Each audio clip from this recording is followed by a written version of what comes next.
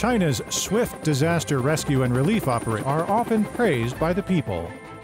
Other than this, China has an outstanding record in post-disaster recovery and reconstruction.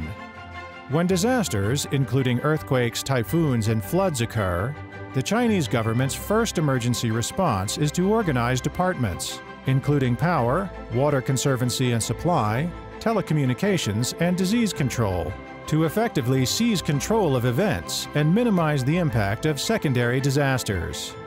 All the departments would act with speed and efficiency to repair damaged roads and railways, restore power, water supply, communications, and other utilities, to safeguard people's everyday lives in the aftermath of disasters.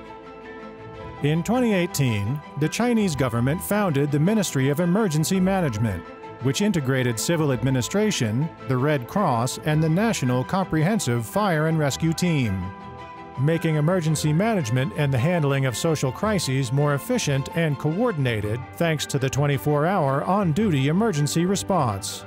The formation of 27 professional teams for mountain, water and air rescue and earthquake relief work and seven professional teams for international rescue and relief operations has greatly enhanced the team's capabilities. China's multilateral rescue and relief mechanism is a fundamental guarantee for a powerful emergency rescue and relief capability.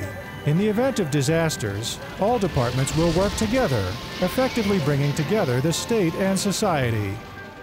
China's emergency response capability has transformed from responding to individual disasters to all-round management of emergency response. And from simple emergency response to reduce disasters to combining disaster reduction with sustainable development. Most importantly, China fully considers its people's lives and safety as its top priority.